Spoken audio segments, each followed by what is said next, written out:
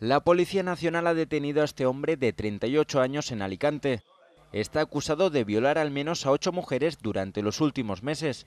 El detenido amenazaba a sus víctimas con un cuchillo cuando las mujeres regresaban por la noche a sus casas. El modus operandi de este detenido consistía en atacar a mujeres solas a altas horas de la madrugada y en espacios poco concurridos como garajes. Abordaba a sus víctimas siempre con armas blancas, con cuchillos de grandes dimensiones, las agredía sexualmente para luego también robarlas. El presunto violador fue arrestado por un policía que se encontraba fuera de servicio.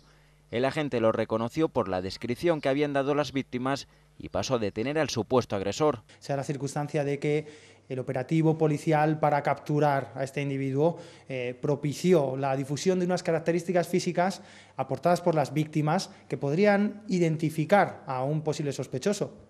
Un policía nacional fuera de servicio, gracias a estos datos aportados por las víctimas, también gracias a su instinto, consiguió identificar a esta persona que ha resultado ser el presunto responsable de estas agresiones. Los investigadores sospechan que el ahora detenido ha podido participar en otros hechos similares no conocidos por los agentes, por lo que han solicitado la colaboración ciudadana de mujeres que hayan podido sufrir agresiones, así como de testigos.